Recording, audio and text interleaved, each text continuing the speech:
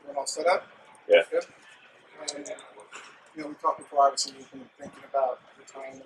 So, you know, for this camp, was that motivation? Did you try to block it out? Was it a distraction? I mean? Um, I was because the thing is, is, is throughout my whole life, you know, like from when I wrestled in high school, the motivator to end on a good note high school was because I had college, you know, and then after co- wrestling in college, the motivator to end at a good known college because I wanted to wrestle in the Olympics, you know, so I always had like this next step, and then you know, my, my college career got cut a little short, and um, you know, I found fighting, and, and it filled that that void for me. And to answer your question, it was maybe because if if if I came in here with this is definitely my last fight, what am I looking forward to? So I was looking to come in and, and, and put on my best performance and almost feel invincible, or end him in the first first round where I'm like, give me somebody else, you know. Um, but I mean, it was uh, a tiring fight for me a little bit, even though it may not look like it. Um, and you know, I, I would have liked to there have been more blood and, and you know maybe me break his arm or something like that. But it wasn't the case. He kept blocking his face. You know. Um,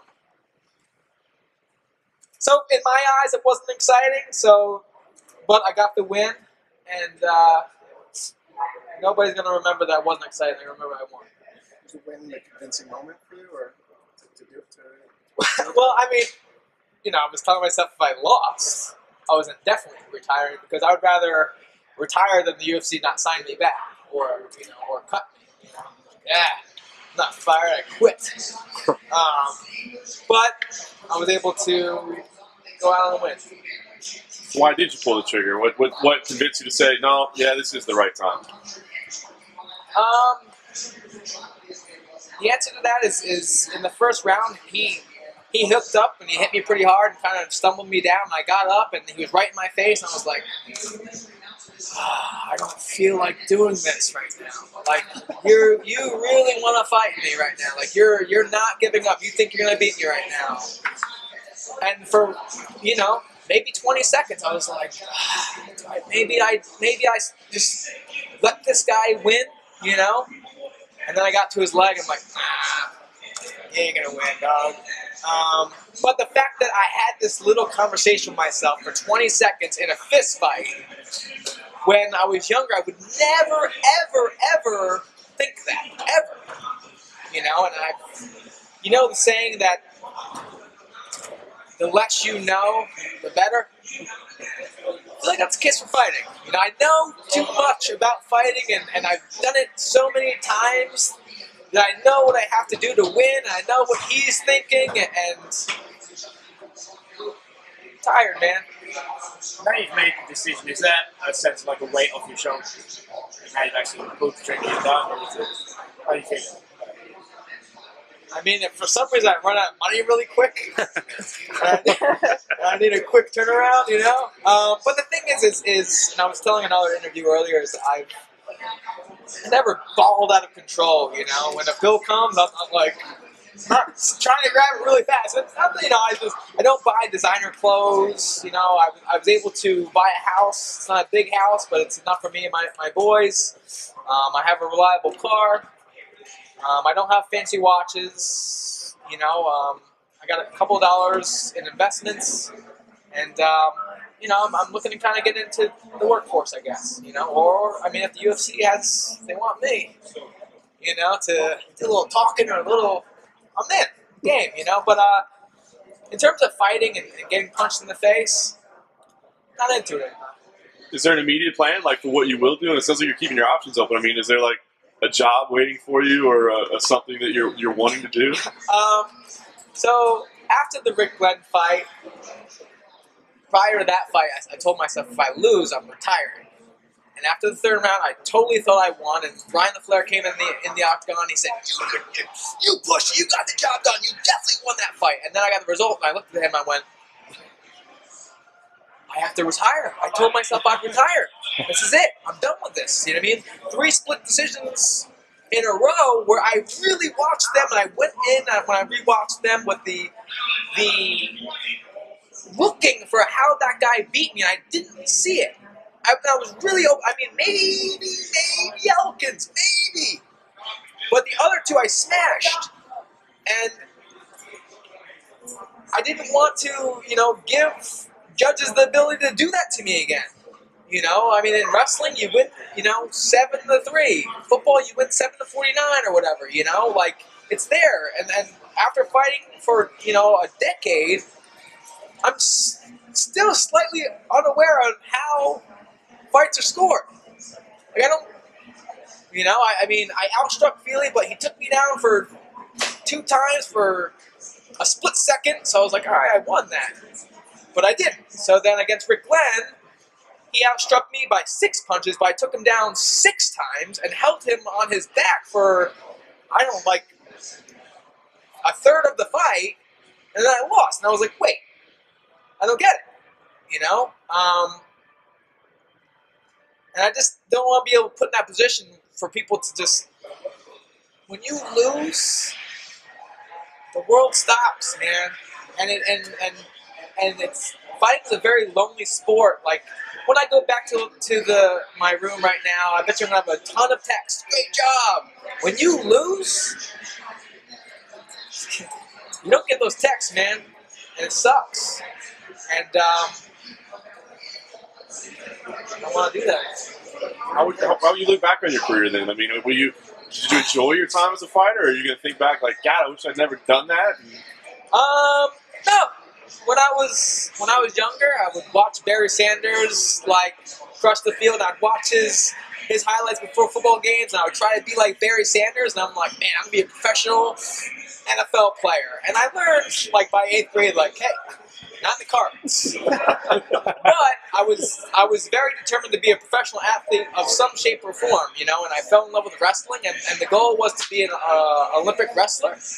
And in my mind, an Olympic wrestler is a professional athlete, even though kind of aren't. um, and you know, like I said earlier, my, my college career got cut short, and fighting filled that void, and, and I was like, hey, I can still be a professional athlete. You know, um, when I first got into fighting, the goal was just to make enough money just to pay off my college loans. And then I found out you can make a career out of it, or I, I found out you can make, you know, money. I was like, what? So I was fighting for 400 and 400, and I thought I was rich, and I was going out and like taking take a girl out, like goes on me, man. Like, how many drinks you want, you know? Um, but then I found out you could really make a career out of it, and, and you know, I would drink a few beers, and I'd watch like Donald Cerrone and, and Ben Henderson, you know, in a fight, and I'd be like, I think I can take them down, you know, like. I could definitely take them down. And I always had that mindset, you know. Um, and I started learning more and more about fighting, and How long, it hurts. how long has retirement been in your mind? Is it just starting this camp, or is it something that's been brewing for, for quite a bit? Um, because the thing that is at at at fighting at 145, you know, I know I'm short and stuff like that, but I'm jacked. I don't know if you can tell. Um, and I, I naturally get up to like 175, you know, like I have a few cervezas, you know, and a couple chicken parmesans. Um, that's like where my body wants to hang out, you know. And so, like when I would get a fight, it wasn't like, oh, I gotta get in there and get tired and fight this guy. It's I have to lose 30 pounds, you know, and um, and I've been doing it for a long time. You know, set what eight years. I feel like it's good for your body. um, so I mean, that's why you know, like after the Rick Glenn fight, it was like I kind of had I don't know if I could curse or not, but I kind of like fuck it. I don't care anymore. I'm not gonna cut that extra ten pounds. I fight wherever I want. And 155 is, is where I started fighting at, and I was seven zero at 155 at one point in my life, and I was I felt invincible, you know. What do you think your favorite memory would be from your career? My favorite memory, um, because again, I would watch Donald Cerrone and I'd watch Clay Guida fight. I'm like, man, these guys are animals. They must be. They're like they're sponsored by Tap Out. They must be making bank. Know, they got buses and stuff like that. So when I fought Clay Guida, that was pretty cool. Uh, being a guy that I, I kind of looked up to, and I thought he was like a, a complete stud. Um, but in terms of performance and leaving it all out there in, in the octagon was my fight against Matt Grice, where like I would like on the final bell I was gasping for air, so tired, you know, that I left it all right there. Talk about your boys. They're not. I mean, I thought about it because I watched, you know, some of those big stars, you know, like bring their kids in. I was like, man, that'd be pretty cool. But like, there was a little piece of me that, like, if I lost, you know, like that would suck. I mean, maybe that's a, a shitty way to think, but I don't know. I mean, they're, they're still pretty young. You know, they're going to be four and six in, in April, and um, you know, people here drinking and, and you know blood and some of that, I don't. Well, we could watch it from my couch. You have to go back to 2011 when you were the underdog in a fight. You were put as the favorite originally, and then were bet to the underdog. Is that a thing that's insulting to you, or does that even go into your mind I frame before a love fight? it. Love it. Yeah. Love it.